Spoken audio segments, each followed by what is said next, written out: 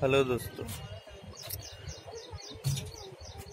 आज आपको एक मेडिसिन के बारे में बताना चाहूँगा, जो एक प्रकार से डायबिटीज़ का अंत करती है और डायबिटीज़ में मुख्य समस्या होती है इंसुलिन की। बॉडी में इंसुलिन बनना बंद हो जाता है तो इंसुलिन को बनाने वाला ऐसा पौधा है, जिसका नाम ही इंसुलिन है। इंसुलिन प्लांट के नाम से इसको जाना जाता है और ये इंसुलिन का जो पौधा है, ये सभी जगह आसानी से मिल सकता है।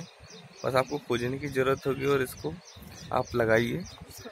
इसको लगाने पर कोई दिक्कत नहीं है बढ़िया गमले में लगा सकते हैं और लगभग इसकी पत्तियाँ जो हैं, ये देखिए, ये है इंसुलिन का पौधा।